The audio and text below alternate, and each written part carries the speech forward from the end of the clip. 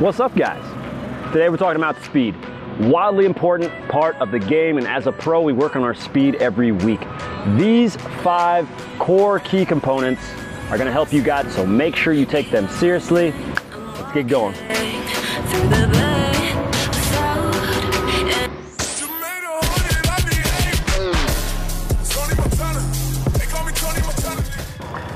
Guys, the only real way to improve your speed is to be faster than everyone at everything.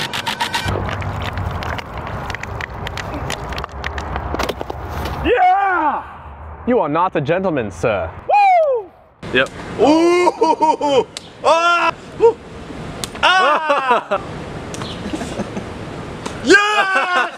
Oh, he wasn't ready for that. He was,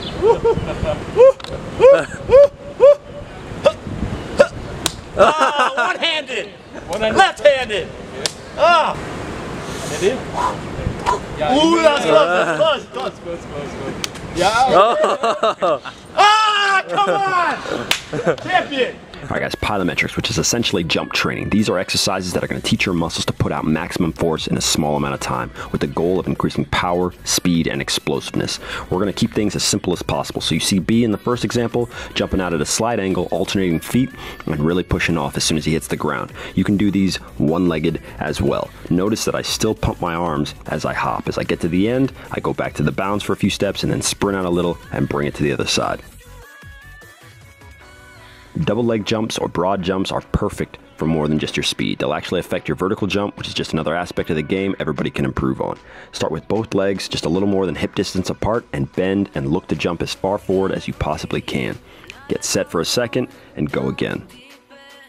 These are the type of movements that a lot of players miss out on because they seem unimportant or too easy, but with repeated work, they'll leave you with much more power and explosiveness in your sprint. You have to work on your explosive movement if you want to get faster, so we get things kicked off with these over the ball jumps because it's one of our most taxing movements. You're aiming for a balance between speed and a good sized vertical jump. The second you hit the ground, you explode back up and over.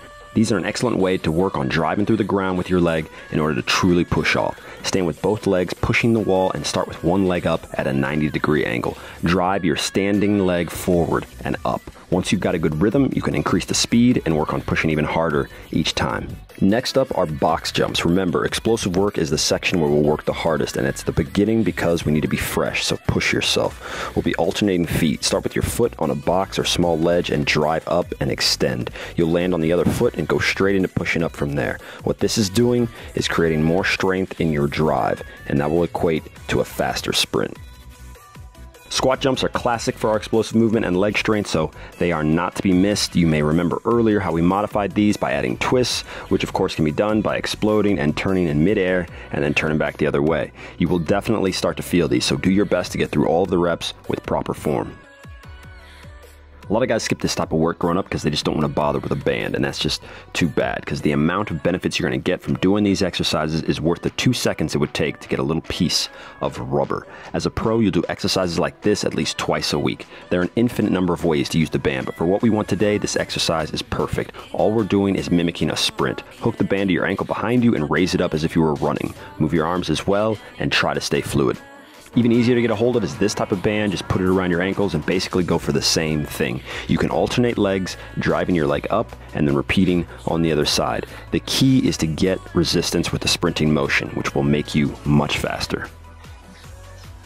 This movement is going to strengthen and stabilize your legs. We're doing these without weight, and that's more than fine for today. We're going to be in the gym soon, so you don't have to worry about all that, but we'll place one foot on a bench or ledge and lower straight down. Try to minimize the wobble and don't let that front knee get out in front of that ankle. If you've ever done these, then you know how incredibly beneficial they are for your legs. If you can manage to do them without hanging on to anything, then great. But it's not a problem to lightly hold on to something at first to keep your balance. Go as low as you can while keeping your front leg as straight as you can. If you're not ready for that yet, just go as low as possible while staying steady and increase the reps just a little bit. Obviously, You're not going to improve your overall acceleration and speed unless you push yourself. So to close everything off, we got a series of sprints, increasing in distance and finishing with a small shuttle run. Football requires massive change of direction movements, so you got to make sure you get those in as well. We've got a few quick sprints where the focus is on getting up to your maximum speed. We'll start with 10, 20, and 40 yards. When we get to our shuttle runs, we'll set up markers about 5 yards apart. Work on pushing off well after each deceleration. Guys, these drills will benefit you in more ways than one, so if you can get through them, do it. If you can't, take breaks, do what you gotta do, but make sure to get in the habit of doing something every day that'll make you a better player. Like, comment, and you better subscribe. Peace.